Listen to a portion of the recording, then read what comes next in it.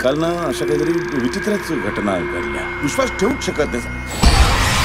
कौशिक खूप अग्रेसिव्ह होत चाललं.